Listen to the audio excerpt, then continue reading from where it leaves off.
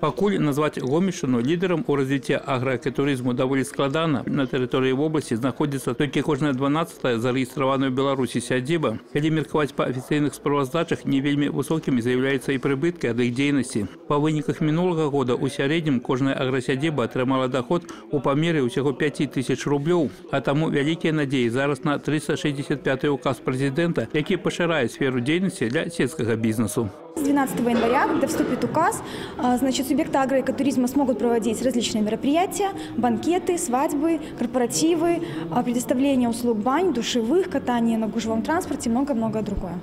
Апрача вяселляў і банкетаў уладальнікі аграсядзіб цяпер змогуць праводзіць яшчэ і платныя фестывалі, хоць пэўныя абмежаванні ўсё ж такі застаюцца. Аграсядзібы могуць працаваць толькі па наяўных разліках, што робіць практычна немагчымым правядзенне тых жа карпаратываў прадпрыемствамі і арганізацыямі. Яшчэ адна праблема адсутнасць інтэрнэту на шмат такіх сельскіх тэрыторыях. Па падліках саміх уладальнікаў сядзіб па гэтай прычыне яны страчваюць да 70% патэнцыяльных турыстаў. Сучасныя тэхналогіі гэта не толькі магчымасць аператыўнага атрымання любой інфармацыі. Яны дазваляюць абыходзіцца таксама без прафесійных перакладчыкаў, што асабліва важна пры прыёме замежных адпачываючых. Сейчас же век продвинутых технологий. И если нужно не, э, непонятное слово, всегда можно найти и в телефоне в том числе. Главное, чтобы был интернет, главное, чтобы была хорошая связь, главное, чтобы было желание э, друг друга понимать. У гэтыя дні у аграсядзібах не шматлюдна, але хутка ўсё зменіцца. На навагоднія і калядныя святы сюды прыедуць госці не толькі з Беларусі і Расіі, але і Германіі, Італіі, Китая, ЗША, Вялікабрытаніі.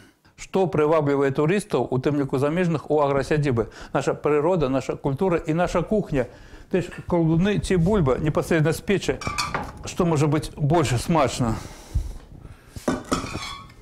Ось, прыемна есці. Для прыгатавання нацыянальных страў у аграсядзібах плануюць прыцягнуць прафесійных повараў. Апрача таго, для правядзення мерапрыемстваў запросіць аніматараў і мясцовыя самадзейныя калектывы, якія выконваюць старажытныя абрады. Хоць і тут ёсць адна акалічнасць. Працэдура супрацоўніцтва з наёмнымі работнікамі даволі складаная, што не садзейнічае дадатковай працоўнай занятасці насельніцтва. Люди привыкли к тому, что я пришел к работодателю, работодатель э, все вопросы э, закрыл. То есть э, человек не просто он за себя должен будет платить какие-то налоги, о том, что он, э, он должен делать отчисления в фонд соцзащиты, в отчисления в э, страховые фонды, в пенсионные фонды. Обычный гражданин не будет каждый месяц вот этому уделять определенный объем времени. Прапановы і праблемы, агучаныя падчас правядзення каардынацыйных саветаў, будуць прааналізаваныя областным управленні па спорту і турызму. Вынікам гэтай работы стане падрыхтоўка метадычных рэкамендацый для ўладальнікаў аграсядзіб. Іх выданне запланавана як у электронным, так і друкаваным варыянтах. Олег Сенцюроў, Валерый Гапанько, тэлерадыокампанія Гомель, Рэчскі раён.